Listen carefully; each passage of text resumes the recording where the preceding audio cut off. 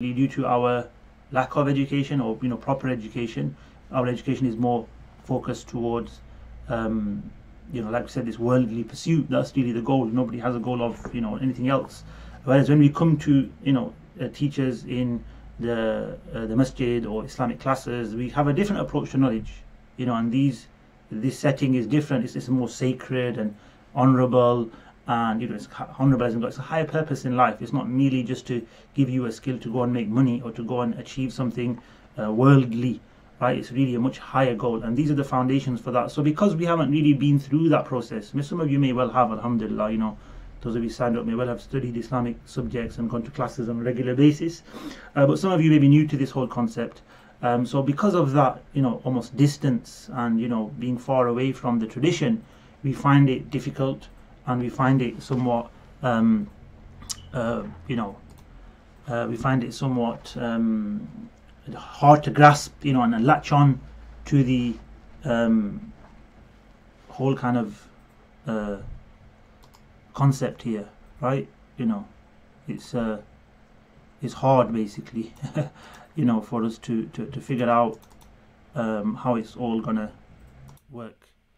Um, so yeah, so hopefully, um, you know, you are going to benefit from these classes, um, and uh, you know, latch onto everything well and confidently and uh, and so forth inshallah ta'ala.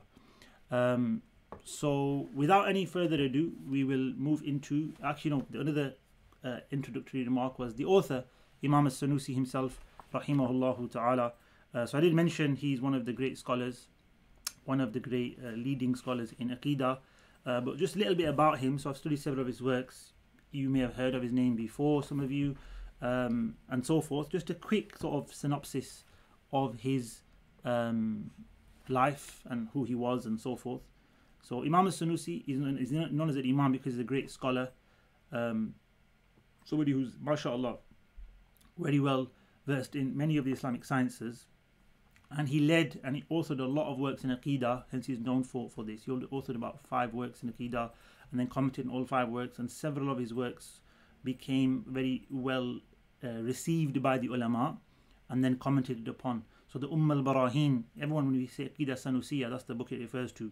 Umm al-Barahin is just one of the books of Aqidah, the most famous and the most widespread and, and taught book of Aqidah really uh, amongst ulama, amongst scholarship around the world. Uh, umm al-Barahin is a very, very uh, well received and commenters like maybe, I'm not sure if it's reached hundreds yet, but maybe hundreds of commentaries on the Umm al-Barahin. Um, and Imam Sanusi himself wrote a commentary, and upon his commentary, there are many marginalia as well. So many scholars receive this book uh, with a lot of, um, uh, you know, acceptance, and they took it forward by commentating upon it. Um, he was from modern day Algeria, um, a place known as Tlemcen. Many great scholars from Tlemcen uh, in Algeria, uh, modern Algeria today. Um, and he was from the Sanusiya family, um, which were you know around that area in the North African, West African lands, um, and he was born there. He was raised there. He studied with many of the great scholars there. Uh, he was known for his taqwa, his piety, um, and he became very learned. And he started to teach and started to write works.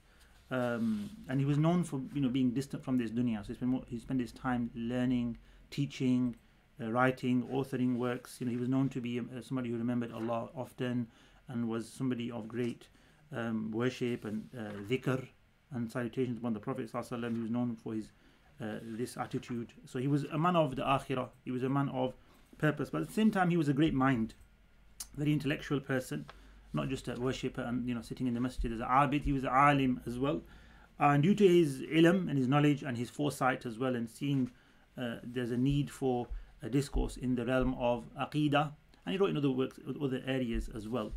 Um, he wrote in logic and aqidah and other topics as well. Um, he started to write books on beliefs, and he wrote several of these books. Uh, he talks about many other subjects, well, like spirituality. He talks about as well.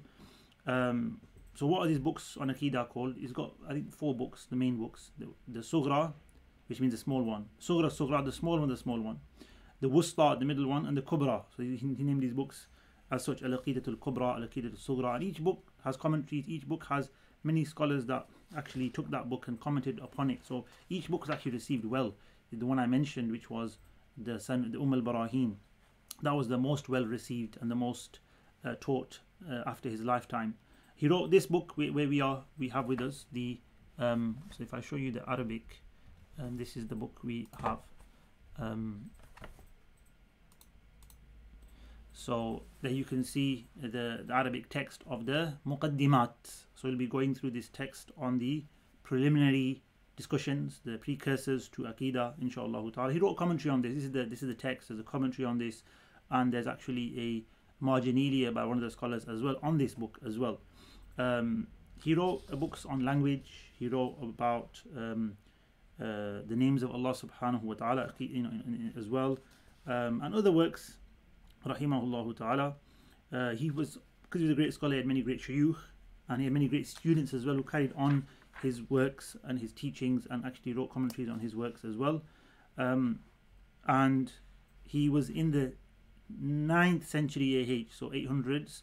He was he lived around that time. He passed away in 895, because this is in the book here. 895 AH. We're currently in 1441 AH. He passed away in 895 after Hijrah, end of the 9th century, Hijri, rahimahullah ta'ala, wa radiya anhu. Uh, and he was, you know, uh, seen off with a great janaza and high respect from the ulama of his time. Um, he was regarded as somebody who was a great loss to the ummah, great loss of knowledge. Uh, many have written in his sort of eulogies and, you know, in, in, in remembrance of him. And even today we're studying his book 500 years or so or plus later. Uh, alhamdulillah. Uh, like I said, you know, I've studied a couple of his other books, and he's a scholar that's often quoted. Um, and we need scholars, you know, not every Muslim can learn and understand hadith, so we need scholars to tell us about hadith. Not every Muslim can understand and learn the nuances of fiqh and how rulings are made, so we need scholars of fiqh, muftis, and so forth. Not every Muslim can study and understand how to defend our faith and the foundations of our faith and the, um, you know, uh, proofs and evidences for Islam and the veracity of the Prophet and the miraculous nature of the Quran and the attributes of Allah. And we have scholars, alhamdulillah, many great scholars in all fields, alhamdulillah. We have nothing to fear as Muslims. We have the scholarship, we have the knowledge.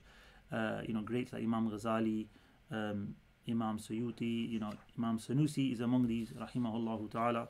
And so we are here today learning his book, Alhamdulillahi Rabbil Alameen. Um, so that's that's an introduction to Imam Sanusi. We mentioned briefly about the book. You will have now access to PDF if I change over to the um, uh, English again, because that's what we're going to cover. I'll read from the Arabic for the blessings of the book, um, but we'll be covering the English, the translation that's been presented for you, and we'll be talking about some of the translation, the words, just to make sure our understanding is correct. Um, and we need you to follow and make notes and ask questions, inshallah ta'ala. So don't be shy to uh, ask questions or um, you know input at any point that you'd uh, like, inshallah ta'ala.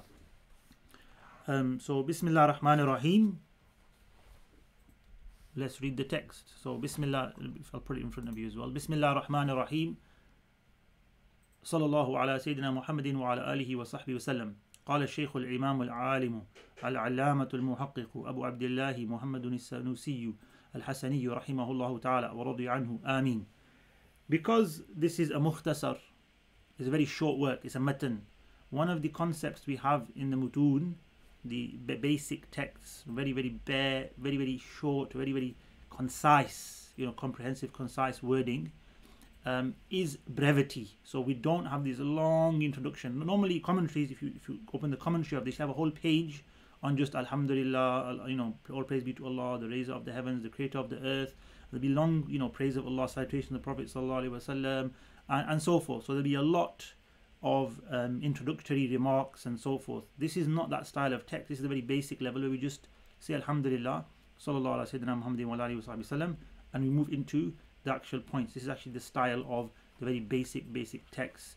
They don't go into long, you know, introductory remarks or uh, uh, what is known as a dibaja. The dibaja is the introductory sort of praise of Allah, the salutation of the Prophet Sallallahu a, kind of uh, you know introductory remarks to the book and the purpose of the, the this book and why that's doing the commentary. So in the commentary, Imam Sanusi would have said something like, "As I saw students of sacred knowledge, you know, struggling in certain areas and the foundations to their studies needed a bit of support and help. I designed and authored this book to help them on their studies so that when they begin the journey of seeking sacred knowledge in the field of Aqidah, they have a strong foundation and have no gaps and the things that they learn are, and then he would have started his book, right? So these are all comments that the commentary would add on, but he just wanted to present the actual things you need to learn.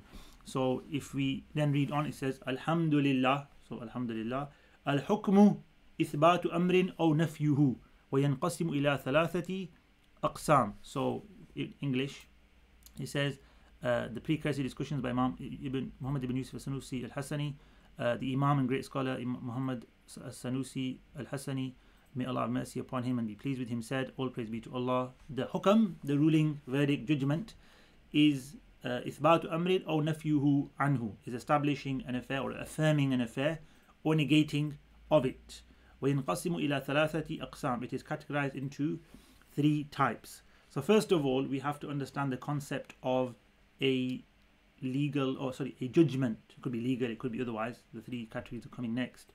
Uh, so when we say a ruling a judgment a verdict is there as well a hukam in arabic. What hukam is this? What was the hukam of this right? We can ask in different ways but hukam means ruling like hukam means what is the outcome of you know this what do we do in this situation that actually can be of three categories. Of course the you know most commonly used i think most of you would have thought oh is it halal or haram right? That's most commonly how hukam is used in terms of everyday language. That's on the fiqh area which is one of the categories. However we're not going to be studying that or we will mention that very briefly at the beginning and then just leave it.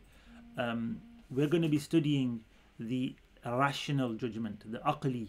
We're going to study about doctrine and faith and what we believe in Allah and so forth. So we're going to talk about that much more in detail and that's what the Aqidah books talk about in much more detail the legal, the Shari'i rulings, that's in fiqh. So you study usul fiqh, you study fiqh and qawaid fiqhiyah, fiqh principles. That's where you learn about uh, legal ju- judgments, right? And the custom is also something we'll be talking about heavily within our studies. I'm just jumping ahead, but let's just step back and talk about um, hukam. So in um, perception of things, in understanding things, there's two levels, okay? Uh, the two levels of understanding something are called tasawwur and tasdeeq. And I'm going to get a book that I like. It's called The Trivium by Miriam Joseph. And she has the English. So the problem with this is I've not visited the English terminologies of these things for a while. Um, so do bear with me, uh, inshallah ta'ala. So this is, um, I don't know if you can see that, the um, uh, Trivium of Sister Miriam. I say Sister Miriam Joseph. She was a uh, um, a nun, right, and a, and a, and a very learned lady, uh, and she wrote uh, this book. There, that's to get the light out of there. Uh, the, the liberal arts of logic, grammar, and rhetoric. So logic is where this kind of stuff is going to be relevant to us. Uh, grammar is English grammar, and rhetoric is English rhetoric, rhetoric. Um, but the logic is very much universal, Aristotelian logic and derivation and common understandings, and so forth. So this is something that I'm probably going to use. I don't know if I've got the right pages here, but um, or where I'll find this um, what I'm looking for. But uh, let's see if I can. Um, so um, we'll we'll talk about it. If I can find English terms for this, will be great. If not, we'll we'll, we'll get them later. Um, so the first level of perception or understanding something is on a uh, individual level where there's no relationship. So basics right? Simple uh, understanding not a connective or relationship understanding. And what does that mean? If i said to you apple if i said to you house you know objects basically concepts without any uh, judgment right? Without any assertions okay? It's just a concept in of itself this is in Arabic called tasawwur, and in English I would say perception of something, or perception can be of many things, but you could say something like a concept, right? Understanding a concept, not a connection or an assertion, but just a concept in of itself. Um, so that's the first level, and you all understood those words, right? We can conceptualize and figure out what man, woman, uh, tall, short. There can be descriptions. They can be uh, objects, red, yellow, blue, right? It can be different things, whether they are a body in itself or a description of a body, but they are singular words, right? In the sense they are, you know, uh, singular concepts. Um, that's the first level of perception. That's not a hukam, okay? That's not a judgment. That's just the basic level. That's basically your vocab, right? That's basically terms we have. Terms is a good word.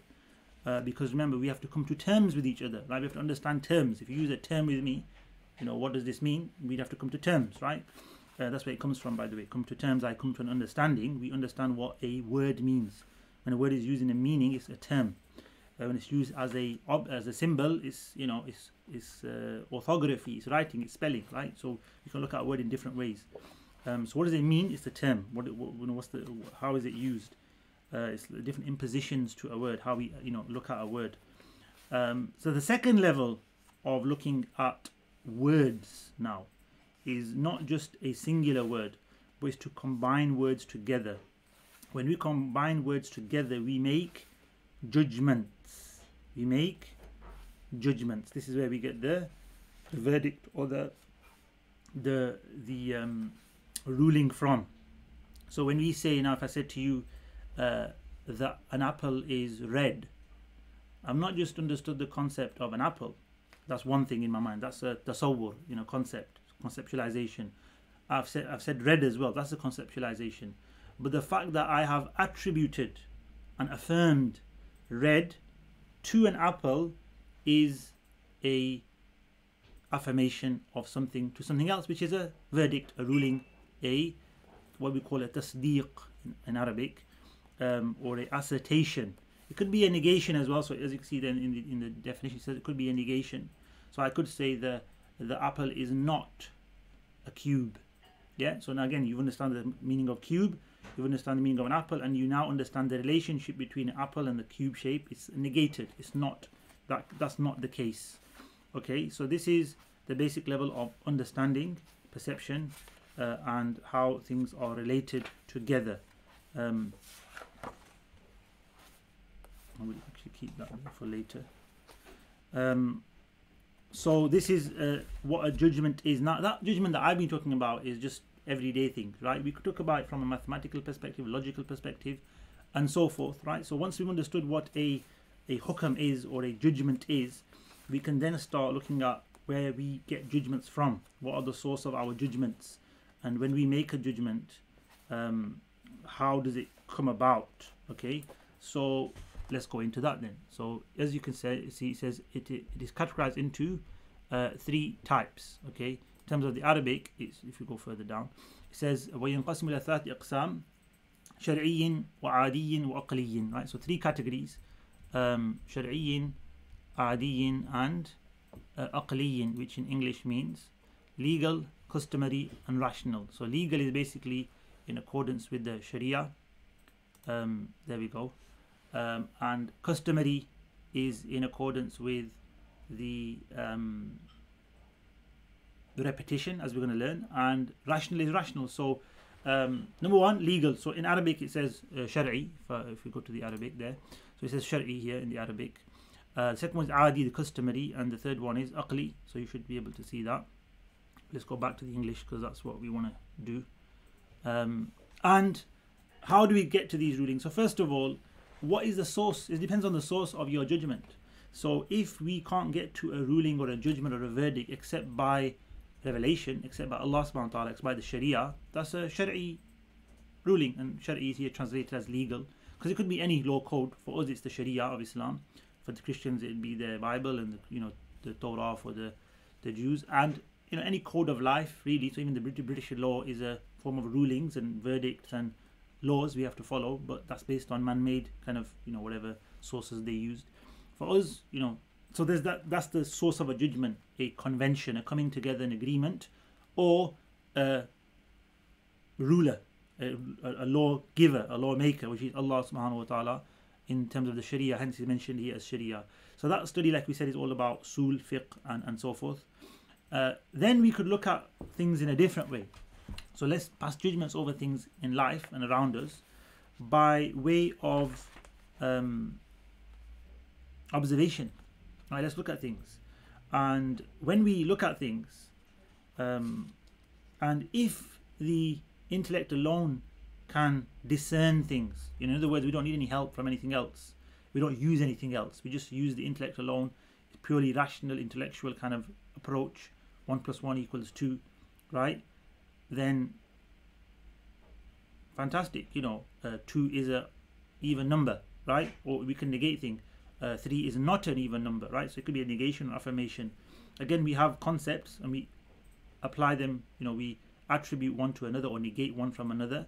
Uh, this concept of odd and even and the concept of a number one, two, three, four, five, and then we relate them together with words. That is a judgment. Where did where did that come from? It came from rational thought, from our minds. You know, humans have always have developed this understanding. It's a God-given faculty. Right? So we use our rationale, we use our intellects, rational, intellectual judgment, right? Um, if so, that's the third, second one, right? Or that's the third one actually. We're going to the third one. Uh, if, however, we also or we make rulings and judgments and give like you know verdicts um, on something, so one thing to another, by way of not just the aql alone. We actually, you know, if we just had our intellects but nothing else, we wouldn't make these judgments. But because we've seen repetition, takrar, and you know, one thing happening again and again and again, obviously our intellects are involved in this, but it's really the repetition and the reoccurrence of something again and again and again in the same way that tells us, you know what? When there's a fire, there's this heat that comes from it and it burns. Every time I've witnessed a fire, there's heat that comes with it. So fire and heat, what's the relationship between them? I'm going to judge, I'm going to make a decision, I'm going to give a verdict in my life and my understanding that fire burns. And every time I see a fire, I know that thing there will burn. I can judge that burning and I can say fire burns. From based on what? Just the intellect alone. So if you had never seen a fire before, and you never had the concept of, uh, you know, uh, fire burning before, you just saw fire and you saw the act of burning. Just by way of intellect, you could not connect those two things. It's because you've seen, witnessed, mushahada, you've seen fire burning, fire, but you felt it maybe, right? You've seen that whole process and the damage it can cause and the, the good it can bring as well. It can be used in both ways. You now have this ability to make a judgment based on the repetition, recurrence. That's called a customary. Hukam adi. It's the adat, it's the repetition, it's the habitual judgment. We see you, you've eaten food and it gives you satiation. You've eaten food and it gives you um, nutrition. That's what you experienced and repeti- repetition has occurred, right? You see something heavy fall to the floor, right? Gravity brings things down. We're accustomed to these things. Often they might not happen. Some happen rare, eh, rarely they might not happen. Some often might not happen. Just depends on what kind of connection there is, how strong it is, and so forth. So sometimes food isn't nourish you. Yes, sometimes food isn't nourish you.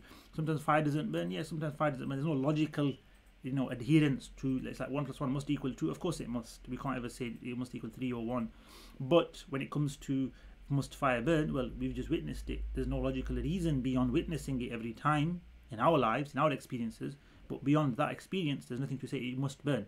Okay, and if somebody says I witnessed it not burning, it's believable on a rational basis, right? You might not want to agree with that person because you know you've never experienced it, you find it hard. But that's how that's how things are in life, right? Miraculous things are hard to to accept sometimes, but it's not illogical. So this is where we have to separate the customary from the rational. Okay, when we go into Aqidah, we can't mix these two up. It'll be very bad, very confusing, and very massive mistakes will ensue in terms of our beliefs regarding miracles and prophets and uh, you know and so forth. It's highly linked to our beliefs, right? So we will be going through the customary and the rational judgment in a lot more detail, and it's what you need to take further into your Aqidah studies, inshallah ta'ala. So if we now carry on reading, uh, let's. I like the Arabic. Is the blessings of Imam As-Sanusi. So he says here. فالشرعي هو خطاب الله تعالى المتعلق بأفعال المكلفين بالطلب أو الإباحة أو الوضع لهما ويدخل في الطلب أربعة The translation of that is um, As for the legal ruling, it is the directive of Allah. So the khitab, the addressing, Allah addressing someone or something which is, as is mentioned, which is connected to the actions addressing us, uh, to the action of those responsible mukallafina. So with the mukallafs, we are given taklif and we have to, or we are you know tasked with uh, certain actions, either to do them or to refrain from them. So it says by requesting, requesting something to be done, or permitting it. So permitting, permission is not a request. So request could be to do, the request could be to abstain, and there's permitting, or establishing either of them, or there could be certain uh, directives of Allah which are not about requesting us or uh, permitting us, but they're actually establishing one of the previous two, either of them. Either they establish a request or establish a permission, but it's prior to that. The actual request of permission is separate to what is used uh, for them. So it said that in the Arabic as um, uh, أو الوضع لهما وضع is a form of usul fiqh terminology which is talking about how things are established in rulings right not the rulings themselves it says ويدخل في الطلب so he said there is um, by requesting so what is request ويدخل في الطلب أربعة in requesting including requesting in you know, demanding some an action i are four things because we're not talking about beliefs, talking about actions, because it says to the actions of the believers, right? Actions of the those um, made responsible. So we've come to we've come we're going to sidetrack a little bit. It's not really a sidetrack; it's part of the book, but it's all about fiqh now uh, and the concept of rulings and how they work. So uh, and not necessarily the rulings, just the concept of the you know the kinds of rulings we have and how that works. And by the way, just to make a point here, Imam As-Sanusi rahimahullah ta'ala was of the Maliki school of fiqh. So he's placed this section on the Sharia and Usul al-Fiqh according to the the Maliki school of fiqh, right? He was from that. Most of Algeria is from that particular uh, fiqh uh, school of thought. Uh, no, Imam Malik, the Imam of uh, Ahlul Medina, the great uh, lover of the Messenger of Allah that never used to wear sandals in the city of Prophet a great, uh, great Imam of Ahlul Sunnati wal Jama'ah, and you know, following on from him are great scholars um, like uh, Qadi Iyad rahmatullah alayhi and, and many so North Africa and Western Africa is full of the Maliki madhab and many great scholars and awliya uh, from there Imam Sanusi being one of those great scholars in awliya as well. So when we go into this detail it's going to be based on the Maliki school of thought. Just bear that in mind. Um, so it says there are four al-ijabu arba'atun. Al-ijabu wal-nadbu wal-tahrimu wal-karaha. Those are four things which have a demand or a request in them. In English included in requesting are four things making necessary, ijab, recommendation, nadb, prohibiting, prohibition, which is tahrim, and dislike, which is karaha. Okay, so there's four things. We're going to define them below. It says, فالإيجاب طلب الفعل طلبا جازما كالإيمان بالله وبرسوله وقواعد الإسلام الخمس. Straightforward. There's nothing really difficult about these things at the moment. So what is um, as for making necessary, what is it? It is the request of an action. So this is fard basically, right? Of an action with a firm and decisive request, such as belief in Allah and His Messenger وسلم, and the five pillars of Islam. Um, I don't think there's any complicated about that to really worry um, and talk about this in much more detail. Um, just thinking if there should be anything that's mentioned. Oh yes, one thing that I would add actually here on this point is when we said in the definition, the very first definition of um, it is the directive of Allah which is kept to the actions of those um, uh, of, of the believers. It was Aqidah as well, so it's connected to our action of the heart, and Aqidah is mentioned there. But it wasn't. Uh, so Khitabullah, basically, directive of Allah means what Allah has revealed in the Quran.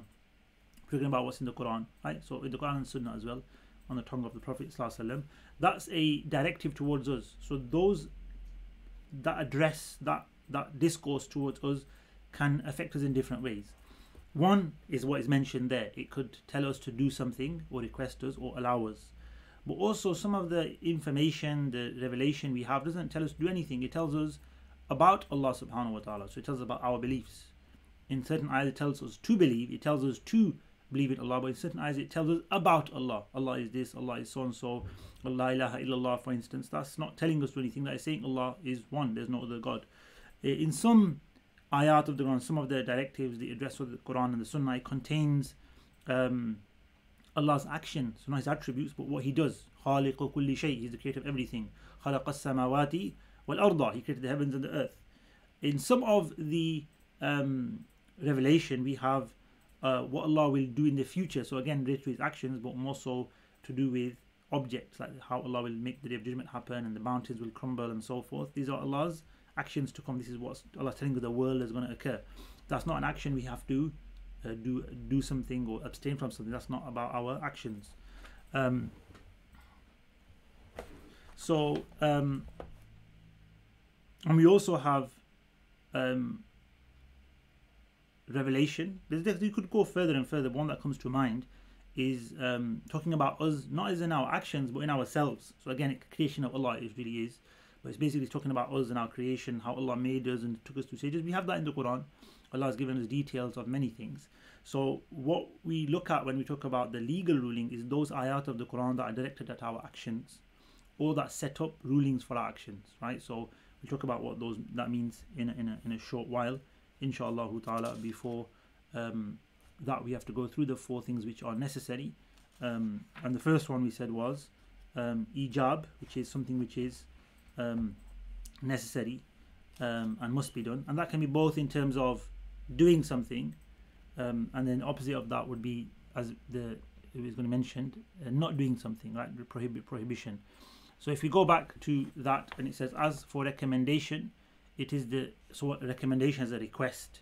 It is the request of an action with a non-decisive request, such as the sunnah prayers of fajr and the like. So in the Arabic, um, we have um,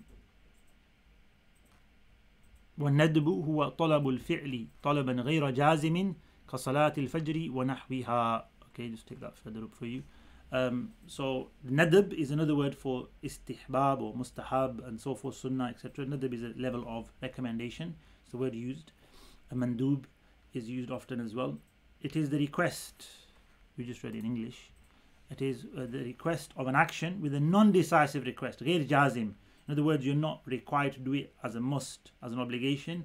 It's recommended, it's requested, but it's you know highly emphasized. It's emphasized, such as what, such as sunnah prayers of fajr and the like, right? Such as um, you know doing dhikr of Allah Subhanahu wa Taala, reading more Quran, um, you know doing tasbih, sending salutation to the Prophet Sallallahu Alaihi Wasallam. There's a level of obligation, but there's all these extra acts of worship which are mustahab.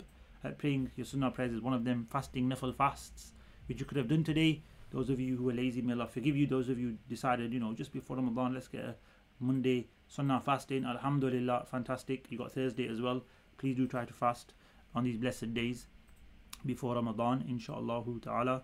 Uh, especially if you're regular, keep up these regular beautiful fasts. Um, so that's that's a mustahab or mandub as we call it. And then in the Arabic it says what tahrim so haram. It's also a request, a request to huwa talabul kaffi anil fi'l. طلبا جازما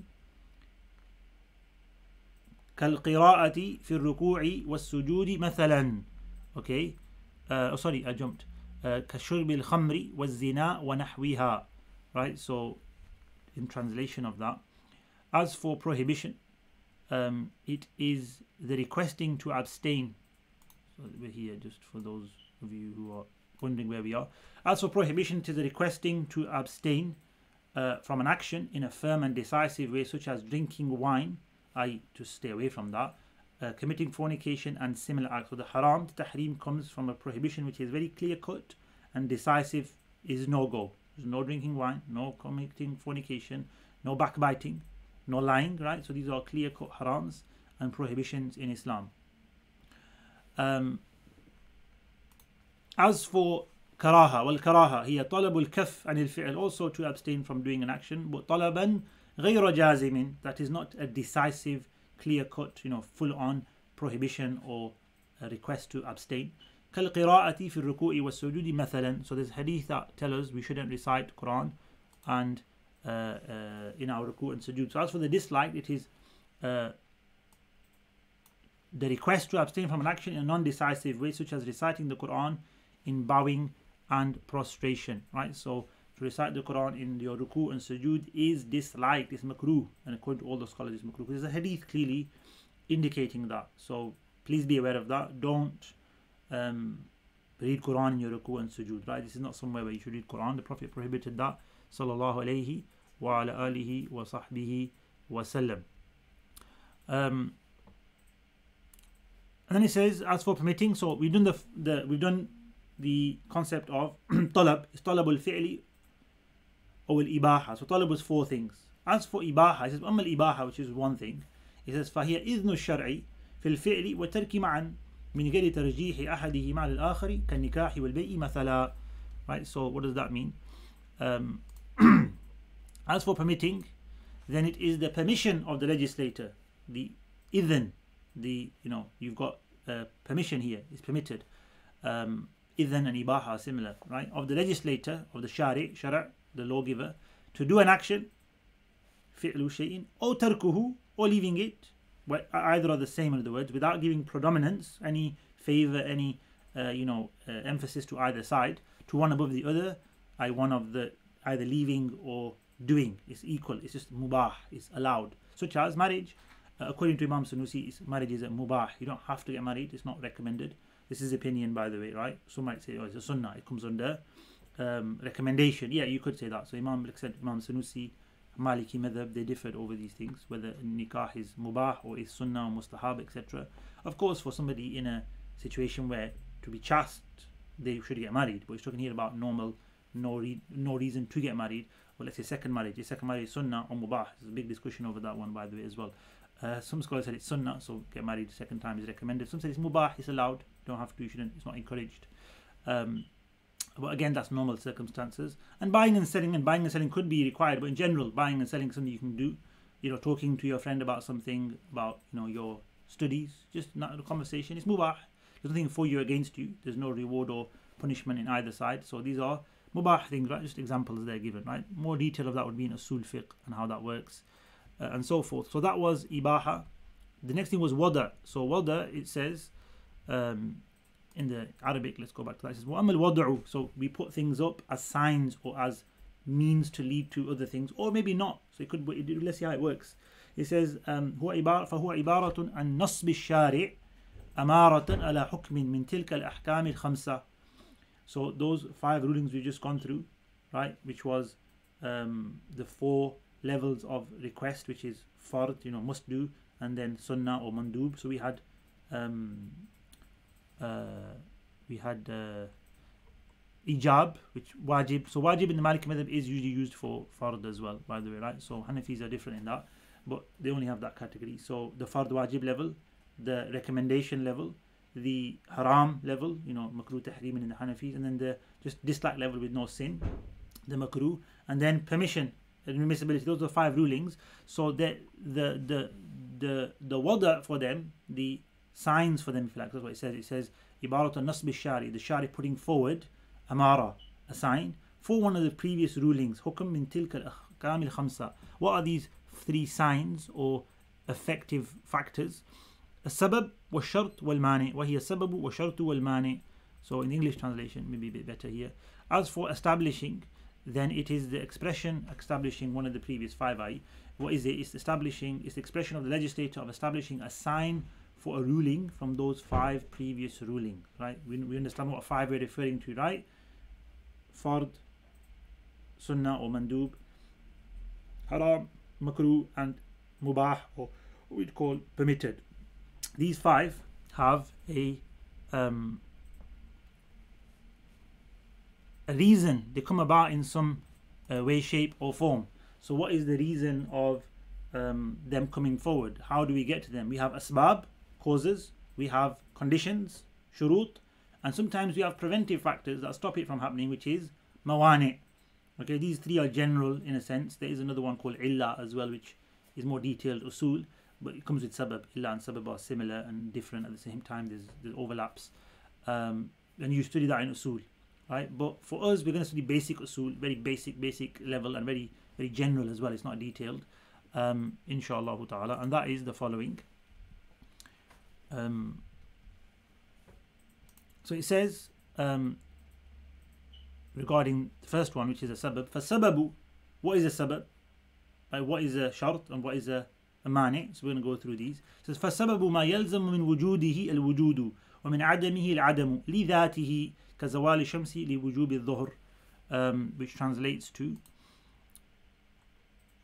these signs are first of all a sabab the cause the shart the precondition or the condition the prerequisite and the the mani which is the preventive factor. As for the cause right? As for the cause it is that which dictates the existence of something else if it is present okay? So if you've got the sabab you'll have the musabbab. The cause is there the result something else being the result okay? That which is connected to right? The judgment we're talking about here right? Uh, and a lack of existence of something else of the other thing if it is absent. So you don't have the sabab you can't have the the result so if you have example the decline of the sun, you've got Zohar. If you haven't got the decline of the sun, you can't have Zohar yet. Okay, so right now we've got Zohar because it's 3 p.m. in the UK. So the the Zawal al-Shams, because Zawal al-Shams has occurred. Now that's the sabab, you've got Zohar.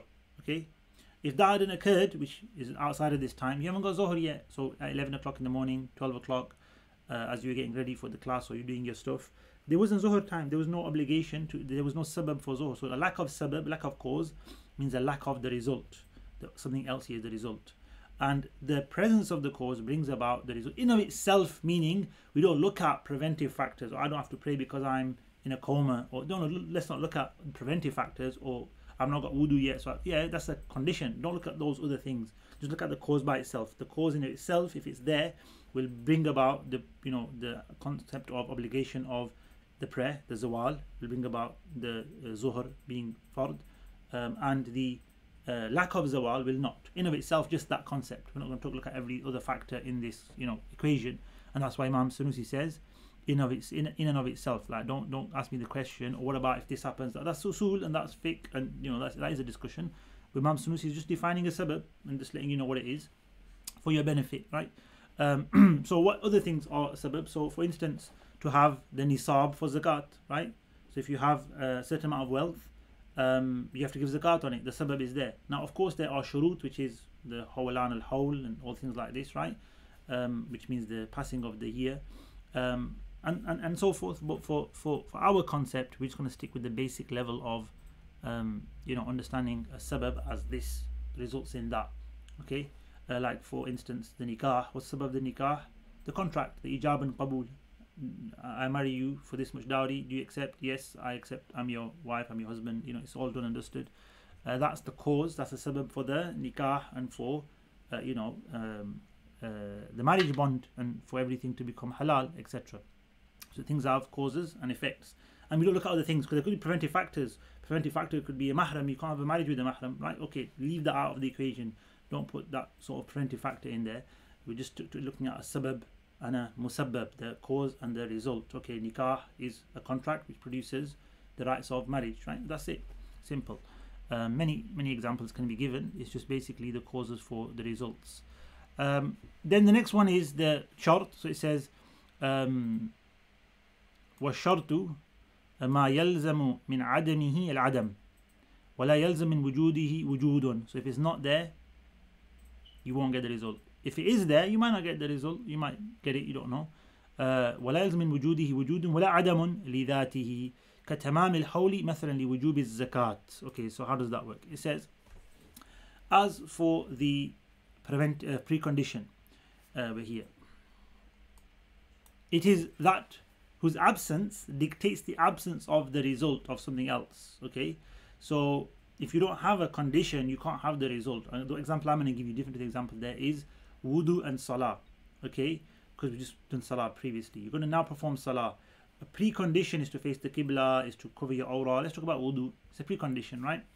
So you haven't got wudu, you can't have salah. Yeah. So it says there, its absence, whose absence dictates the absence of something. So absence of wudu, which is a condition, a precondition, a requisite, prerequisite, results in the absence of something else, which is salah, which is the result, which is the, what you what you want to attain while it's presence does not dictate the presence nor the absence of that other thing in of itself. So meaning I've got wudu, just got wudu. Does that mean now I've got salah? Well, I've got to pray to do salah, I've got to do ruku, I've got to do sujood, I've got to read the Quran. These are all different things. So if I've done all of them, so don't look at all of them, just look at wudu itself. Just wudu itself doesn't give you salah. No, it doesn't give us salah. So just wudu itself, it doesn't negate salah either. It doesn't mean I haven't got, I can't do a salah. What it means is just having the condition doesn't mean you're going to get the result or you're not going to get the result. It depends on other factors such as takbir and ruku and sujood, etc. But if you have it, you can possibly get the result.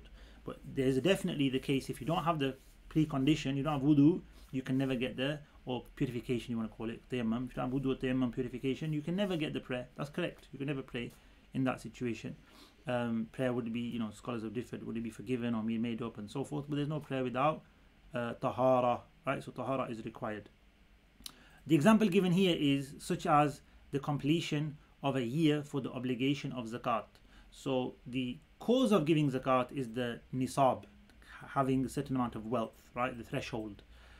There's a condition though, and just like in wudu, in prayer, you need to have wudu. In, in zakat, you need to make sure there's a condition is fulfilled, which is the al hawl, the passing of a lunar year. The hawl here is referred to is, is the word for the lunar year, like whole. Um, hawalan means the passing of the going forth of a, the lunar calendar from one year, one full cycle. Um, whichever day your zakat day happens to be, it could be whenever you acquired the wealth to give zakat. Right, I need to wait a full lunar year now, based on like the first of, um, you know, Rajab is when I got my wealth. Right, next year first of Rajab is a full hawl. Right, that's a condition now. Okay, let me look at my wealth. What is it? You know, ten thousand pound. Right, give two hundred and fifty pound um, zakat right? That's that's 40, uh, 140th or 2.5 percent, right? That's your zakat. Alhamdulillah, if you've got 20,000 pound, 500 pound, right? Whatever you've got, give your zakat accordingly. But you don't give it without the condition being met of the passing of a year uh, on your wealth, not the whole wealth, but just from the day you acquired it to the day uh, you the year on, where and regardless of when you acquired the other wealth, right? So you might can't say, oh, I acquired half of it during the year, then just like a few weeks before I got another five thousand pound, I'm gonna keep the out of the card because I've had it for a year. No, we put it all together. Whatever you acquired during the year, has passed on the minimum amount, so it's passed on everything. We put it all lumpy all together because it would be practically impossible to track every penny you've got and when you got it and when a year's gone by on it, etc. It's all lumped together and when it starts, it starts. And when a year's gone by, you calculate it, and every year you calculate and it averages itself out basically and you'll pay your zakat um, and that's it so that's another topic as well usul and fiqh but that's a, a concept of the uh, shart right as like, like I said wudu for prayer um, you know a shart for uh, tawaf for instance is uh, wudu as well or you know for um, uh, ihram thinking of hajj um, is uh, the talbiyah. So you can't start the ihram unless you said labaik Allahumma labaik. Right? And niyyah is you know pre- prerequisite to many things. Right? So these are conditions. Then being found doesn't mean you go into the actual thing. So just doing talbiyah right now doesn't make you a muhrim. Right? Labaik Allahumma labaik labaik la sharika laka labaik doesn't make you a muhrim. I just said the talbiyah. Right? It's got to be coupled with other things and that are the asbab that result in the actual thing coming about. Right? So yes, causes and preconditions have to come together to produce the result sometimes. Yeah, that's the case. And you learn about them in fiqh. We don't break it down like this, we just learn them. Like we learn wudu, we learn what, to face the qibla, we learn covering the aura. We don't call them asbab and uh, shurut, etc. We just learn them. Um, uh, but obviously, we're breaking things down in this book. As you can see, it's, it's very foundational. Um, so then moving on to the, the mani. So it says, والمانع ما يلزم من وجوده العدم ولا يلزم من عدمه وجود العدم لذاته كالحيد لوجوب الصلاة. So it's the opposite of shart.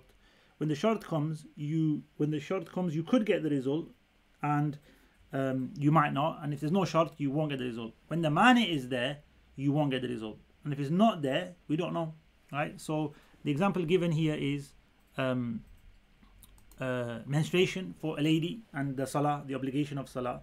So um, if the mani, the preventive factor of menstruation is there, there's no salah. You can't pray and fasting as well. But just because it's not there, just because there's no menstruation, doesn't mean there's a prayer. Doesn't mean there's an obligation of prayer necessarily, right? Other factors will introduce that. The lack of a preventive factor doesn't result in the obligation of salah.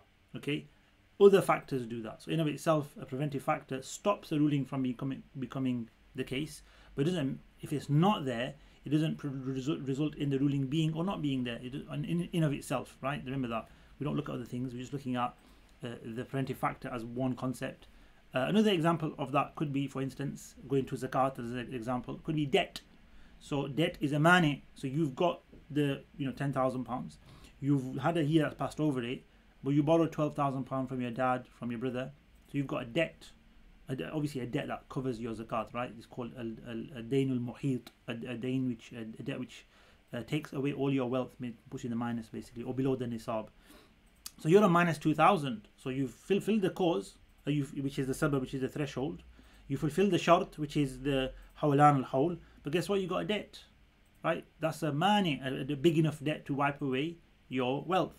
So now you don't have to give a zakat. So if the mani is there, which is a big debt, uh, what they call the, the, the the encompassing debt, not just a small. If you've got if you've got a debt of a thousand or two thousand, it's going to reduce your zakat, not take it away. If you've got a debt which is so big it takes away, it minuses all your wealth, then you are no longer zakat. You actually can take zakat. Right? If you're in minus, you're actually poor.